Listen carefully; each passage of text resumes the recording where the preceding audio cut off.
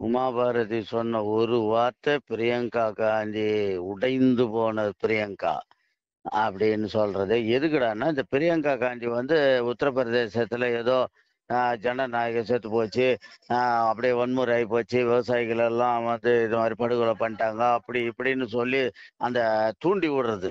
தூண்டி விட்டு அதுல ஒரு அரசியல் ஆதாயம் பார்க்கறதுக்காக பிரியங்கா வந்து இந்த தடையை மீறி அங்க வேணுமுன்னே வந்து இப்போ காவல்துறையை மீறி உள்ள நுழைஞ்சு இந்த மாதிரி பிரச்சனை பண்றாங்க. இவங்களை எடுத்துட்டு போய் எங்கேயோ ஒரு இடத்துல வச்சிருக்கிறாங்க.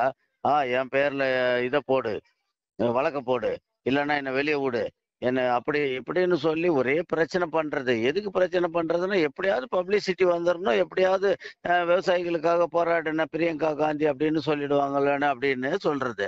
இதெல்லாம் கவனிச்சுக்கிட்டு இருந்த நம்ம உமா பாரதி அவர்கள் வந்து பிஜேபி அவர்கள் வந்து பிரியங்காவை வந்து வச்சு செஞ்சுட்டாங்க. எப்படின்னா ஒரு திட்டமிட்டு அதாவது இந்தியாவில் வந்து காங்கிரஸ் ஒண்ணுமே இல்லாம போய்கிட்டு இருக்கு. இப்படியே போனா நம்மளுடைய பழப்பு ரொம்ப இதாகி போயிடும்னு சொல்லி வேணுமனே வந்து விவசாயிகளை தூண்டிக்கிட்டு எதிர்கட்சிகள்லாம் ஒன்று சேர்ந்து இந்த மாதிரி பண்ணிட்டு ஜனநாயக படுகொலை அப்படின்னு சொல்லி இங்க சொல்லி நீங்க யோகிக்கு ஒரு கெட்ட பேரு மோடிஜிக்கு ஒரு கெட்ட பேர் ஏற்படுத்த பாக்குறீங்க. கொஞ்சம் வரலாற்றை திரும்பி பாருங்க. உங்க அதாவது உங்க பாட்டி அதான் இந்திரா காந்தி. அதாவது ஜனநாயகத்தை குழி தோண்டி புதைச்சி எமர்ஜென்சி பேசினா ஜெயில் இம் சிறைவாசம் ஏன் என்றால் வனவாசம் இந்த மாதிரி பயங்கரமான சே இது பண்ணிட்டாங்க. எல்லா தலைவர்களையும் பிடிச்சி ஜெயில அட அப்படின்னு சொன்னவங்க.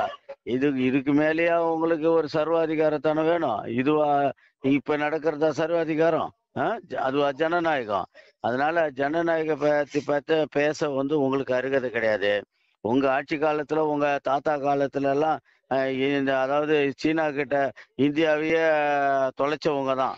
எத்தனோ லட்சம் ஏக்கர் நிலத்தை தொலைச்சிட்டு சைலண்டா தோல்வி ஒத்துக்கிட்டவர் தான் அந்த ஜவஹர்லால் நேரு. அதனால நீங்க வந்து இந்திய தேசத்தை பத்தியோ இந்தியாவில் ஜனநாயகத்தை பத்தியோ பேச அருகதில்லை.